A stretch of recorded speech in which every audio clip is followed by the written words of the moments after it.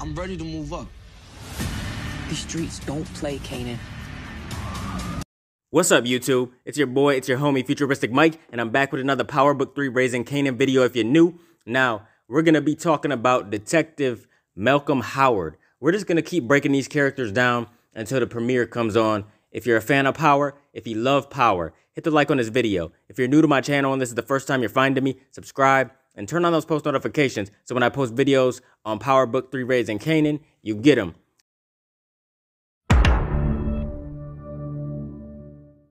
Now, the Power Book 3 Raising Kanan premiere event took place yesterday, and we seen all the cast members from the Power universe together as they were celebrating the premiere of Power Book 3 Raising Kanan, and it was a pretty cool thing to see. I wish I could have been there, but you know, it was just cast members and stuff like that. It just looked like a great time. It looked like a straight vibe, and I really loved the fact that they were all having a good time with one another.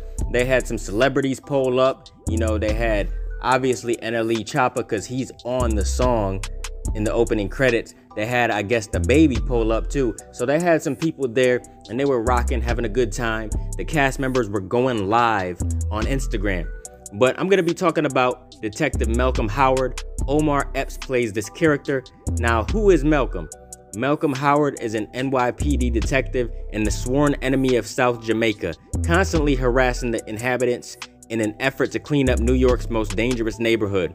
He is particularly cold and hostile to Raq for reasons that are set to be revealed in the series.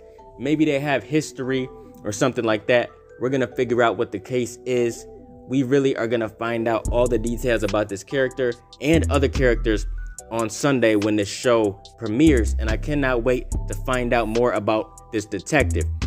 We've seen Omar Epps in many, many things before. You know, we've seen him playing Dr. Eric Foreman on all eight seasons of House MD. We also seen him in films such as Juice, Higher Learning, The Wood, and Love and Basketball. I mean, he's been in so many movies throughout the years, in the 90s, early 2000s, and he's still acting his ass off and he's worked as a producer and a rapper, you know, back in the day. So he's doing his thing, he's making moves, and it's gonna be cool to see him as Detective Malcolm Howard. You know, when I first started watching Power, never did I think they were gonna have all these spin-offs, and I never thought Omar Epps was gonna be part of the Power universe. So to see him become part of such a successful show it's just great to see, man. It's great to see all these people succeed, and it's great to see the show succeed. You know, I'm very happy for Courtney Kemp and 50 Cent and all of them, and I hope nothing but the best for them in the future. I hope we get even more spin-offs than the ones that are going to be coming on. You know, I hope maybe we get a Power Book 6 or 7 or whatever. I just hope it keeps going.